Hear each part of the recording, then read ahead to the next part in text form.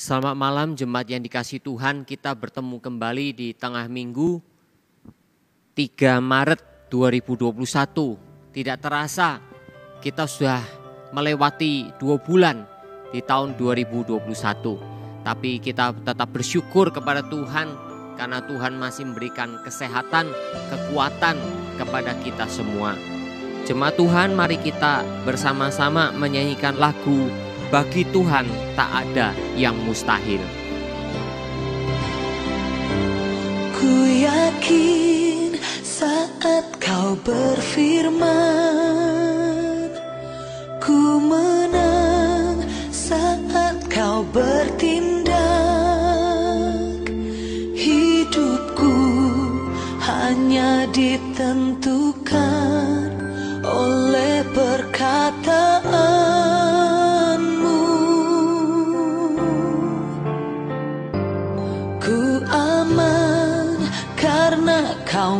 menjaga Ku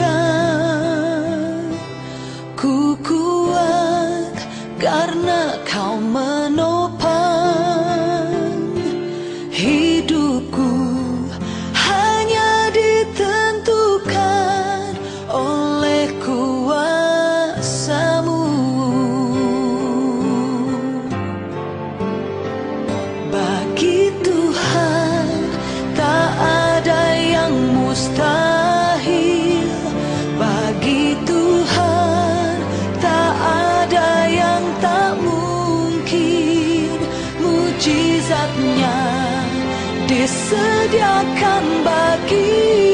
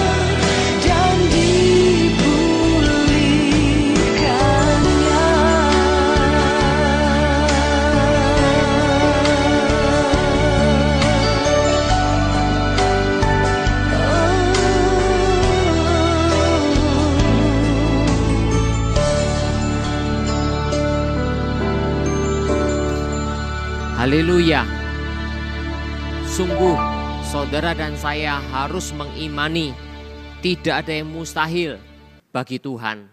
Dalam menjalani hidup kita harus selalu memiliki kepercayaan Tuhan yang memimpin, Tuhan yang menguasai hidup kita, Tuhan yang memiliki rencana terindah dalam hidup kita. Mari kita berdoa bersama-sama. Kami bersyukur berterima kasih Bapa. Kami telah dikumpulkan kembali dalam kebaktian doa malam hari ini di bulan yang baru. Biarlah ya Bapa Engkau seri yang menyertai kami, memberikan kekuatan, kerinduan yang besar untuk bersekutu bersama-sama dengan saudara seiman di dalam Tuhan. Berkatilah seluruh rangkaian doa kami Bapa dari awal sampai akhir. Terima kasih dalam nama Tuhan Yesus Kristus. Amin. Kita akan nyanyikan bersama-sama janjimu seperti fajar.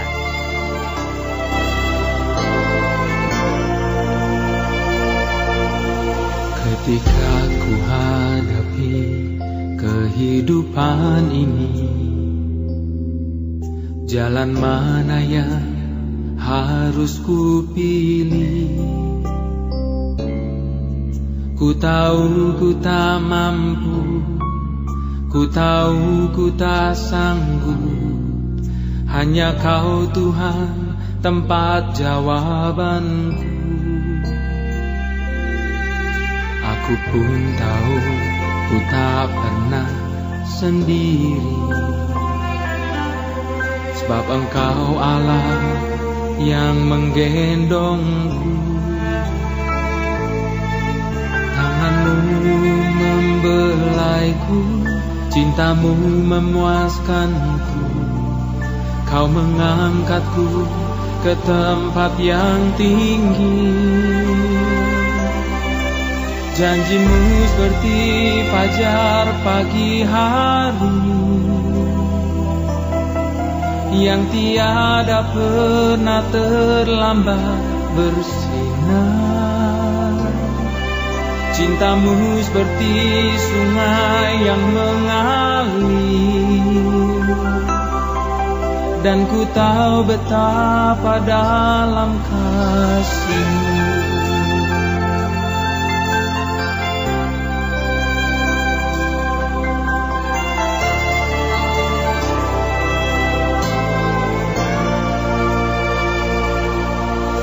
Ketika ku hadapi kehidupan ini. Jalan mana yang harus ku pilih Ku tahu ku tak mampu Ku tahu ku tak sanggup. Hanya kau Tuhan tempat jawabanku. Aku pun tahu ku tak pernah sendiri. Sebab engkau Allah yang menggendongku. Tanganmu membelaiku Cintamu memuaskanku. Kau mengangkatku ke tempat yang tinggi seperti fajar pagi hari Yang tiada pernah terlambat bersinar. Cintamu seperti sungai yang mengalir. Dan ku tahu betapa dalam kasihmu Janjimu seperti fajar pagi hari. Yang tiada pernah terlambat bersinar. Cintamu seperti sungai yang mengalir. Dan ku tahu betapa dalam kasihmu Saudara, lewat kehidupan hari lepas hari yang kita boleh lalui. Ketika pagi datang, fajar menyingsing, fajar terbit, matahari terbit, terus sampai tengah hari dan kemudian terbenam. Saudara, siang dan malam terus berganti.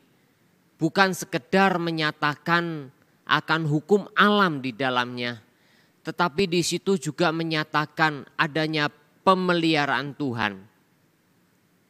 Hukum alam mengikuti apa yang Tuhan telah tentukan bagi kita semua. Kata saudara yang kasih oleh Tuhan, janjimu seperti fajar. Dan itulah yang harus kita pegang erat di dalam kehidupan kita. Bahwa Tuhan selalu menyertai kita. Tuhan yang menuntun kehidupan kita. Mari kita berdoa untuk merenungkan kebenaran firman Tuhan. Bapak, terima kasih kesempatan malam hari ini. Kami ingin merenungkan kebenaran firman-Mu. Kira Tuhan sendiri yang menyertai kami, sehingga kami boleh merenungkannya dengan baik. Bersyukur berterima kasih Bapak, berkatilah firman yang akan kami dengarkan bersama-sama di dalam nama Tuhan Yesus Kristus kami berdoa. Amin. Kita membaca bersama-sama kejadian 21 ayat yang kedua. Kejadian 21 ayat yang kedua.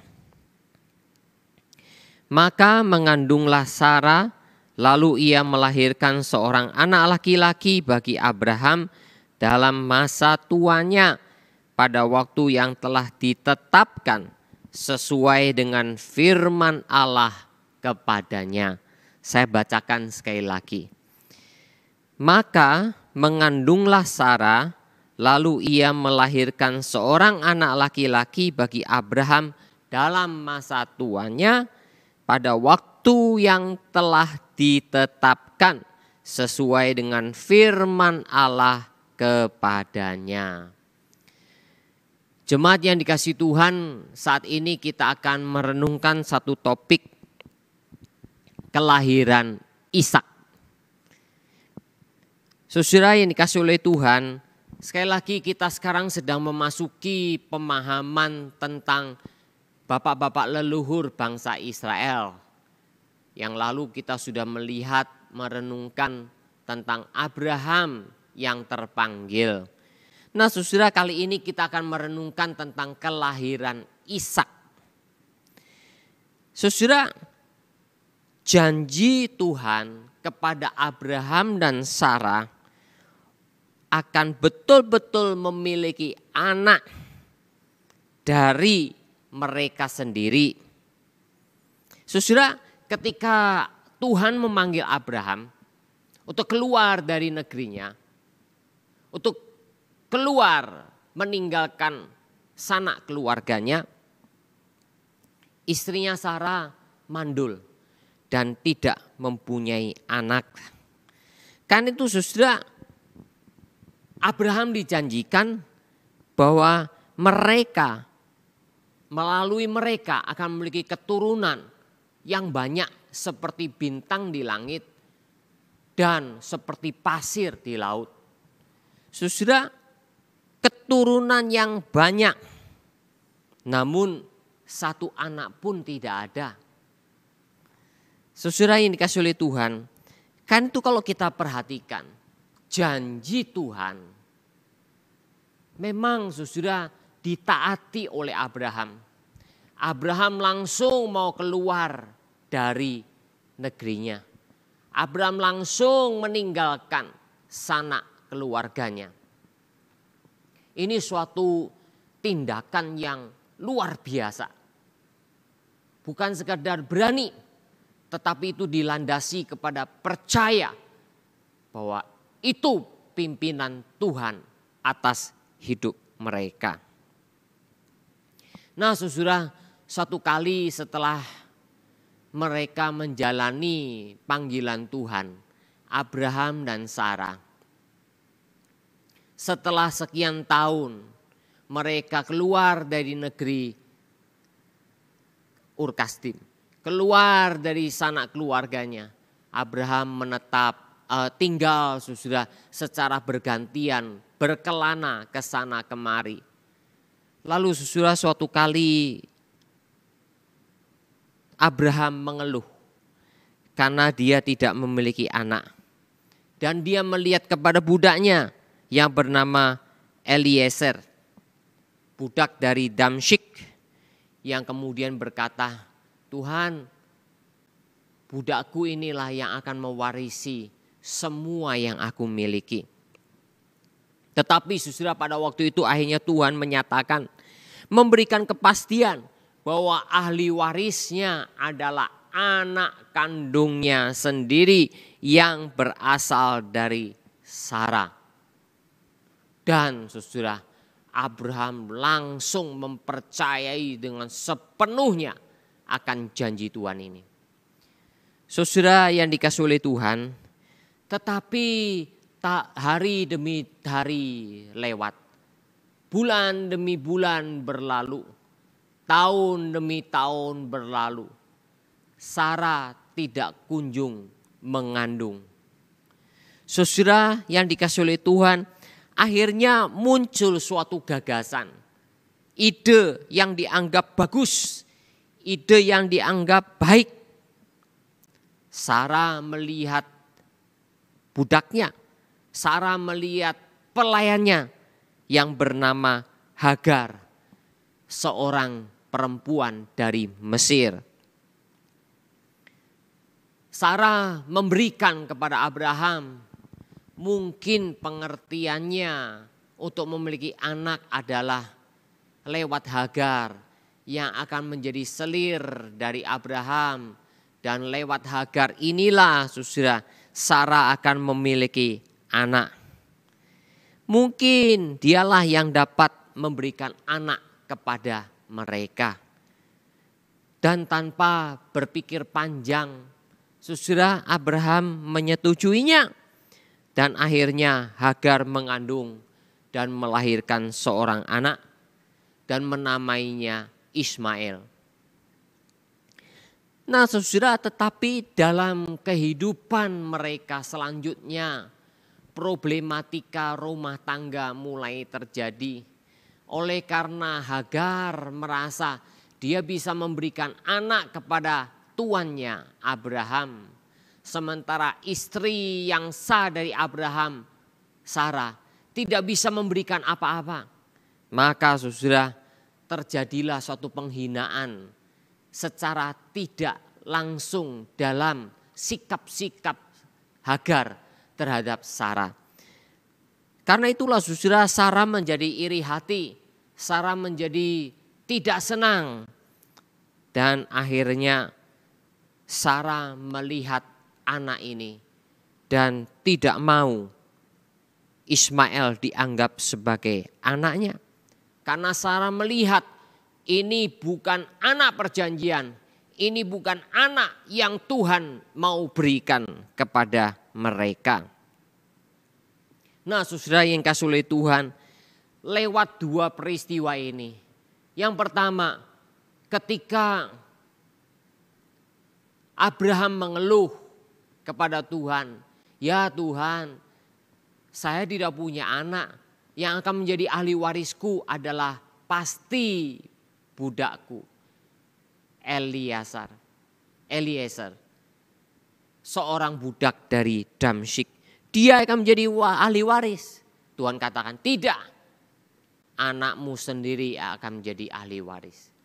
Kemudian sudah berlangsung sekian tahun lamanya. Lalu akhirnya Sarah mengusulkan Hagar. Dan mereka memiliki anak bernama Ismail. Tetapi Tuhan tetap mengatakan ini bukan anak perjanjian yang dimaksudkan oleh Tuhan. Saudara, kalau dipikir-pikir secara manusiawi, kita mau melihat sudah bagaimana keadaan Abraham dan Sarah. Ketika dipanggil untuk keluar dari negerinya, meninggalkan sanak keluarganya, Abraham berumur 75 tahun. Lalu saudara, hari demi hari, bulan demi bulan, tahun demi tahun. Saudara ketika Ismail dilahirkan bagi Abraham melalui Hagar. Itu Abraham berumur 86 tahun. Jadi kira-kira kalau mau dilihat 10 tahun lamanya Abraham dan Sarah menantikan anak perjanjian, tetapi tidak kunjung datang. Akhirnya mereka memakai cara sendiri, sehingga lewat Hagar dilahirkanlah Ismail. Jadi saudara yang kasih oleh Tuhan setelah itu baru ketika Tuhan mengutus tiga orang yang disebutkan di situ yang kita percaya itu adalah malaikat. Dan salah satunya adalah malaikat Tuhan yang luar biasa. Menyatakan bahwa tidak, semuanya itu tidak. Bahwa Eliezer bukan ahli waris Abraham. Bahwa Ismail bukan ahli waris Abraham. Tetapi dari Sarah, dari istri Abraham sendiri Tuhan akan memberikan anak kepada mereka. Berapa lama sudah janji Tuhan itu? Sudah akhirnya Tuhan menegaskan ketika seorang malaikat Tuhan bersama dengan dua orang malaikat yang lain menghampiri, mendatangi Abraham dan mengatakan bahwa Sarah tahun depan akan melahirkan anak. Saudara, itu Abraham berusia 99 tahun. Jadi saudara, setelah 24 tahun lamanya mereka menunggu dan menanti. Sarah pada waktu keluar dari Urkasdim, pada waktu keluar dari sanak keluarga Abraham berusia 65 tahun. Nah sudah berarti kira-kira Sarah pada waktu itu berusia 89 tahun. Sudah di sini kita melihat bahwa maksud Tuhan. Sudah sering kali manusia mereka-reka, manusia memikirkan dengan caranya sendiri. Sudah, tetapi Tuhan memiliki cara yang berbeda. Tuhan memiliki cara yang lain yang menunjukkan adanya yang menunjukkan bahwa itu semua terjadi karena kuasa Tuhan dan tidak ada satu persen pun karena usaha manusia. Saudara, karena itulah Tuhan mendatangi Abraham dan Sarah.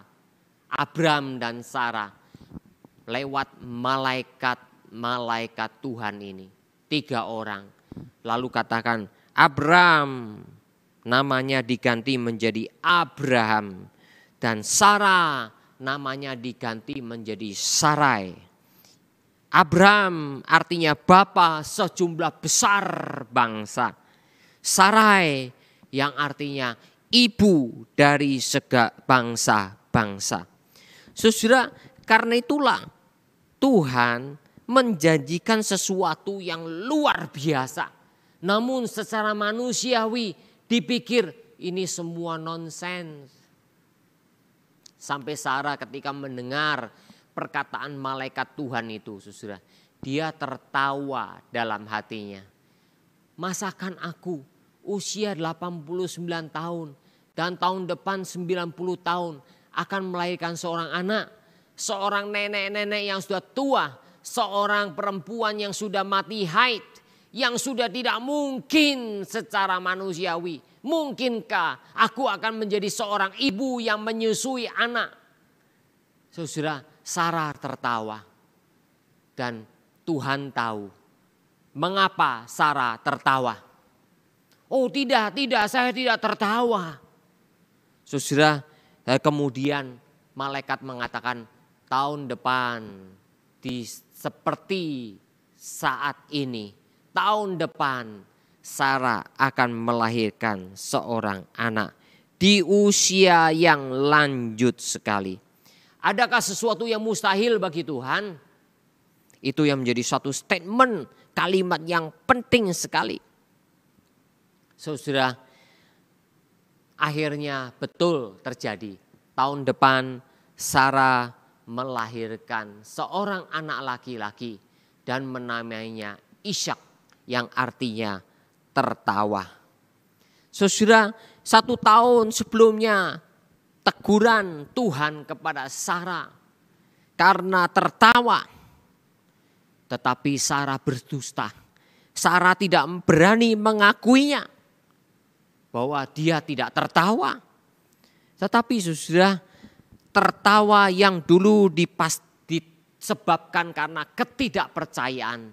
Tertawa sebagai suatu seolah-olah sesuatu yang lucu dan mengandung sedikit penghinaan tanda petik.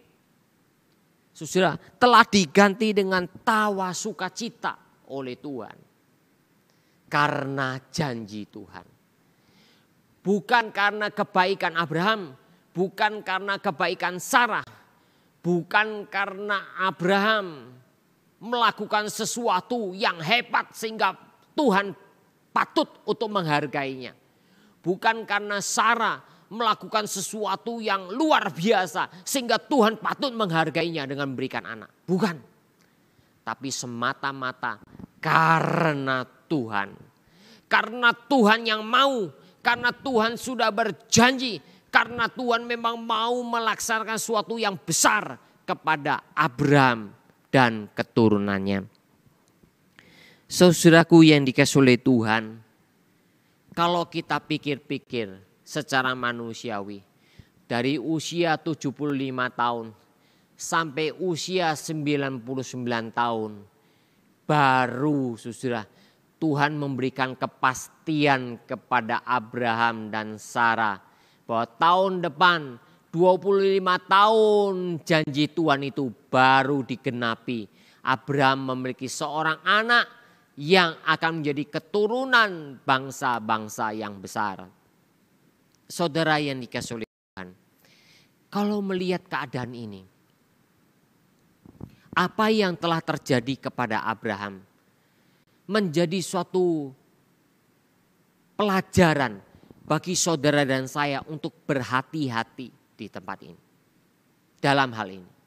Saudara, secara manusiawi, bahkan secara budaya pada waktu itu.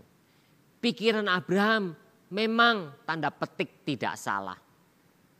Bahwa budaknya yang akan menjadi ahli waris itu secara budaya adalah hal yang lumrah.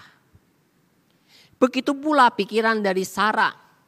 Secara budaya juga tidak salah tanda petik. Bahwa istri yang sah bisa memberikan seorang selir untuk melahirkan anak-anak bagi istri yang sah. Semuanya tidak salah secara budaya. Tetapi sudah di dalam prinsip kebenaran firman Tuhan, pemahaman budaya itu tidak identik. Pemahaman budaya itu tidak sama, bahkan ada kecenderungan kesalahan oleh karena yang Tuhan minta adalah iman percaya. Bukan pertimbangan budaya. Bukan pertimbangan hikmat manusia. Bukan.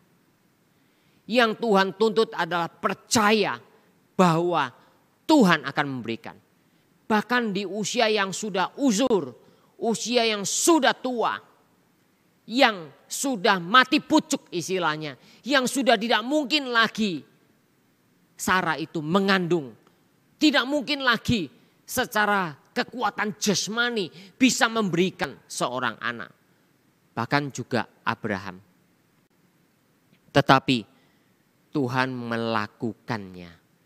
Tuhan melakukannya di tengah-tengah manusia sudah tidak berdaya, di tengah-tengah manusia sudah tidak punya potensi apa-apa, di tengah-tengah manusia yang sudah tidak memiliki apa pun yang menjadi harapan. Dan Tuhan melakukannya. Itulah yang berarti anugerah. Itulah yang berarti cinta kasih Tuhan. Itulah yang berarti kasih setia Tuhan. Itulah yang berarti kemahakuasaan Tuhan. Itulah yang berarti kemampuan semuanya dari Tuhan. Tidak ada satu persen pun, tidak ada satu aspek pun manusia berbangga di dalamnya. Jadi saudara yang dikasih oleh Tuhan, di sinilah kita melihat bahwa Tuhan menginginkan Abraham dan Sarah melihat semua itu dari sudut pandang Tuhan.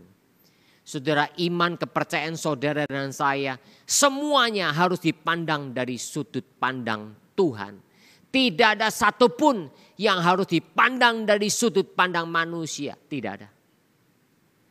Dan Tuhan telah mengerjakan semuanya tanpa satu aspek pun dari pihak manusia.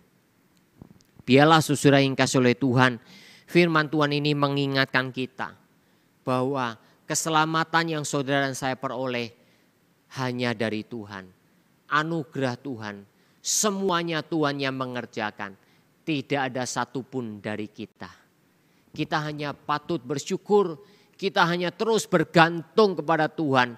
Kita menyerahkan seluruh aspek hidup kita hanya kepada Tuhan di dalamnya. Kiranya firman Tuhan ini memberkati kita semua. Amin. Mari kita menyanyikan lagu Bagi Tuhan tidak ada yang mustahil.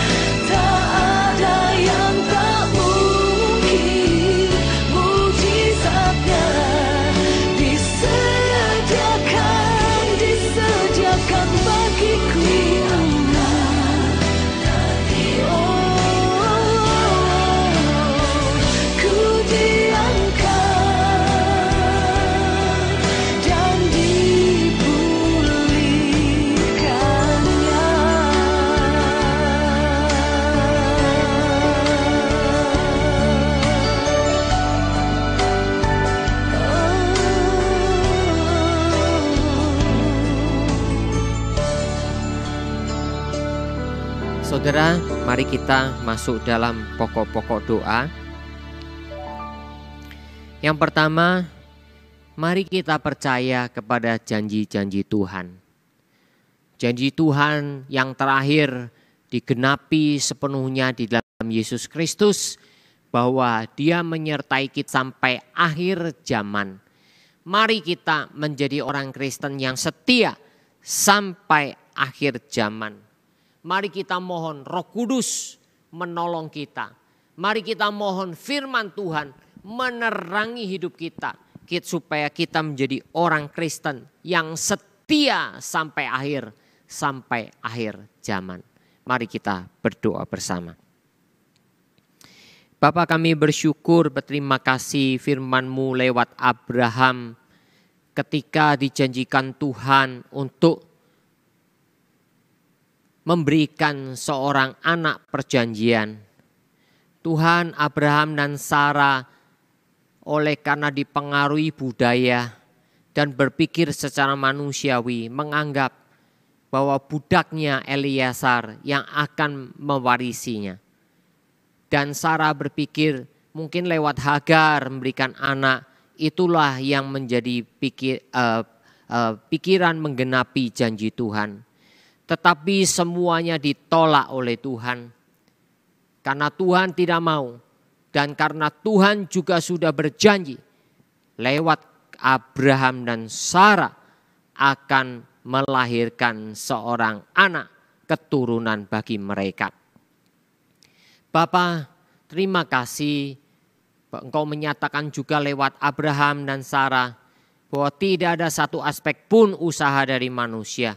Semuanya Tuhan yang kerjakan, semuanya Tuhan yang lakukan, semuanya Tuhan berikan. Ketika manusia tidak berdaya, ketika manusia tidak ada satu aspek pun berperan di dalamnya. Itu menyatakan anugerah Tuhan yang besar. Karena itu Bapa tolonglah kami sebagai orang Kristen. Biarlah kami boleh menjadi orang Kristen yang setia, setia percaya akan janji-janji Tuhan. Janji yang sudah digenapi, yang terpuncak, tertinggi, tersempurna, telah dilakukan oleh Yesus Kristus bagi kami. Karena itu Bapa, kau berkati supaya kami semua percaya janji Tuhan akan menyertai kami sampai akhir zaman Kiranya Tuhan tolong kami lewat roh kudus yang tinggal di dalam diri kami. Memimpin kami punya kerinduan terus bersekutu dengan Tuhan. Lewat firman Tuhan kami diterangi, diterangi pikiran dan per, uh, pengertian kami lewat firman Tuhan. Terima kasih Bapak, berkatilah anak-anakmu. Terima kasih dalam nama Tuhan Yesus. Amin. Mari kita berdoa untuk gereja Tuhan, khususnya GKY dan juga para hamba Tuhan untuk setia melayani, setia memberitakan firman Tuhan, setia kepada firman Tuhan sehingga GKI menjadi salah satu gereja yang menyuarakan kebenaran firman yang bertanggung jawab di dalamnya. Mari kita berdoa bersama. Kami mau berdoa Bapak untuk GKY dan para hamba Tuhan yang melayani serta majelis dan pengurus-pengurusnya. Berikanlah kepada kami Bapak hati yang setia memberitakan firman yang bertanggung jawab dan gereja GKY menjadi salah satu gereja yang menyuarakan kebenaran firman yang bertanggung jawab di dalamnya. Bapak engkau berkati dan sertai setiap hamba Tuhan yang melayani, setiap majelis yang melayani, setiap pengurus yang melayani. Kami percaya GKY tetap menjadi salah satu dari gereja-gereja yang dipakai oleh Tuhan. Terima kasih Bapak, dengar doa kami dalam nama Tuhan Yesus Kristus. Amin. Kita berdoa saudara minggu ini 7 Maret ibadah kita sekaligus akan diadakan perjamuan kudus. Kiranya Tuhan memimpin, mempersiapkan kita semua untuk beribadah dan mengambil bagian dalam sakramen perjamuan kudus. Mari kita berdoa. Yang mau berdoa Bapak menyerahkan ibadah kami minggu ini. Sertai Bapak, selain itu juga akan diadakan perjamuan kudus. Siapkan hati seluruh jemaat untuk berbagian dalam sakramen perjamuan kudus di mana menjadi suatu pertanda kami terus diikat, dipersatukan di dalam tubuh Kristus. Kira Bapa mempersiapkan kami semua, persiapkan hambamu yang akan melayani perjamuan, layakkan kami semua untuk mengambil berbagian dalam perjamuan. Dengar doa kami Bapa dalam nama Tuhan Yesus Kristus. Amin. Kita doakan untuk Yayasan Hidup Baru. Yayasan Hidup Baru dari Sinode GKY adalah poliklinik yang didirikan untuk menolong kesehatan jemaat dan kesehatan masyarakat sekitar. Mari kita berdoa untuk yayasan dan poliklinik hidup baru. Bapak di tengah-tengah pandemi ini keberadaan yayasan dan poliklinik hidup baru tentu sangat penting Bapak mari sertai dan pimpin supaya poliklinik dan yayasan hidup baru betul-betul bisa menjalankan fungsinya menjadi salah satu penopang kesehatan jemaat dan kesehatan masyarakat sekitar. Bapak kami serahkan semuanya ke dalam tanganmu sertai para dokter, para perawat, para anggota yayasan yang melayani Tuhan sendiri yang memimpin mereka. Dengar doa kami Bapak dalam nama Tuhan Yesus Kristus. Amin. Doakan untuk vaksinasi yang masih terus berjalan dan sekarang sudah di minggu-minggu ini diutamakan kepada para lansia untuk melakukan vaksinasi. Doakanlah supaya lansia-lansia yang ya umur 60 tahun ke atas betul-betul yang sehat bisa divaksinasi dengan baik, tapi yang masih memiliki sakit penyakit tetap bersabar dan memulihkan kesehatan mereka. Mari kita doakan untuk vaksinasi secara umum juga di seluruh dunia. Mari kita berdoa. Kami terus berdoa Bapak untuk vaksinasi yang sedang dijalankan. Secara khusus di Indonesia minggu-minggu ini Bapak vaksinasi kepada para usiawan yaitu orang-orang tua yang berusia 60 tahun ke atas. Mari pimpin sertai Bapak agar para lansia menyadari keadaan diri mereka. Yang sehat, yang tidak ada sakit penyakit, biarlah mereka boleh menjalani vaksinasi dan Tuhan memberkati sehingga vaksinasi itu bisa memberikan kekebalan dalam tubuh mereka. Tapi bagi usiawan yang memiliki sakit penyakit, agar sakit penyakit bawaan agar mereka berhati-hati lebih dahulu memulihkan kesehatan mereka ya Bapak. Mari sertai dan pimpin dengan demikian vaksinasi bisa dijalankan dengan normal. Tak lupa vaksinasi seluruh dunia yang sedang berlangsung Tuhan juga memimpin sedemikian. Namun Bapak tolonglah masyarakat untuk tetap menjaga protokol kesehatan. Jangan sampai mereka menjadi lengah. Kami serahkan semuanya ke dalam tangan kasih Tuhan. Dengar doa kami Bapa di dalam nama Tuhan Yesus Kristus. Amin. Mari kita doakan untuk saudara-saudara kita yang melayani di gereja kita, GKI Surabaya, khususnya saudara untuk saudara Stefanus di tata usaha, saudara Max yang ada di eh, kebersihan rumah tangga gereja, untuk Agung yang menjadi driver di gereja kita dan juga ada dua orang saudara kita yang menjadi uh, security yang menjaga keamanan gereja kita. Mari kita doakan untuk lima staf gereja kita agar Tuhan memelihara mereka, memberikan kesehatan, memberikan sukacita dalam melaksanakan uh, pekerjaan dan tugas mereka. Mari kita berdoa. Kami mau berdoa Bapak untuk lima saudara kami yang melayani sebagai staf di gereja kami GKI Surabaya. Yang berdoa untuk saudara kami Stefanus yang melayani di tata usaha. Saudara Max yang melayani di kebersihan rumah tangga gereja. Saudara Agung yang melayani sebagai driver gereja kami. Juga Bapak ada dua orang saudara kami sebagai security, menjaga keamanan gereja kami. Mari pimpin mereka satu demi satu ya Bapak. Kami percaya Kau memberikan kesehatan kepada mereka. Kau sertai keluarga mereka. Kau juga pimpin agar hati mereka bersuka cita melayani di tempat kami.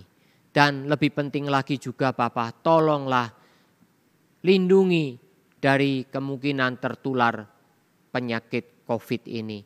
Tuhan tolonglah supaya gereja kami bisa tetap netral, gereja kami bisa tetap bersih ya Bapak dari tercemar uh, COVID ini. Kami sungguh menyerahkan hanya kepada Tuhan, menjadi hanya kepada rencana Tuhan, hanya pada kedaulatan Tuhan, bukan untuk kebanggaan kami, bukan untuk kehebatan kami, tetapi untuk kemuliaan Tuhan, tetapi hanya untuk belas kasihan Tuhan kepada kami semua. Terima kasih Bapak dengar doa kami dalam nama Tuhan Yesus. Amin. Yang terakhir, mari kita doakan untuk usaha kita, pekerjaan kita, bisnis kita, dan sekaligus juga untuk kesehatan kita. Mari kita berdoa. Bapak kami mau menyerahkan juga jemaat kami Bapak dalam menjalani usaha, bisnis dan pekerjaan masing-masing. Bapak kira kau bukakan jalan senantiasa di tengah-tengah kesulitan bisnis, kesulitan pekerjaan, kesulitan usaha, Kau masih tetap berikan pertolongan-pertolongan Bapak. Sehingga kebutuhan jemaat kami secara ekonomi bisa tetap terpenuhi. Tapi juga berikan rasa cukup kepada kami masing-masing ya Bapak. Tak lupa untuk kesehatan kami, kiranya Tuhan kau menjamah kami. Memang Bapak kami sadar kesehatan kami semua bergantung kepada Tuhan. Itu kalau ada jemaat yang terpapar COVID, Tuhan berikan kepada mereka kekuatan. Jangan sampai mereka stres, tapi mereka sungguh-sungguh bertekad kepada Tuhan. Tuhan juga tolong bagi kami yang masih dalam keadaan sehat, biarlah kami tidak menjadi takabur, tapi dengan penuh kepatuhan menjalankan protokol kesehatan dan tetap menyandarkan hidup kami kepada Tuhan. Terima kasih ya Bapa, Engkau mendengar seruan doa kami. Engkau mendengarkan seluruh rangkaian doa-doa yang kami panjatkan. Bersyukur untuk persekutuan doa yang sudah kami jalankan bersama-sama. Terima kasih Bapa, berkatilah hari-hari kami selanjutnya sampai menanti hari Tuhan, hari kedatangan, hari kami beribadah bersama-sama dengan saudara seiman dalam kebaktian hari Minggu dan seterusnya sampai menantikan kedatangan Tuhan yang kedua kalinya. Dengar doa kami Bapa, dalam nama Tuhan Yesus Kristus kami berdoa. Amin. Selamat malam, Tuhan Yesus Kristus memberkati ibadah doa kita selesai. Amin.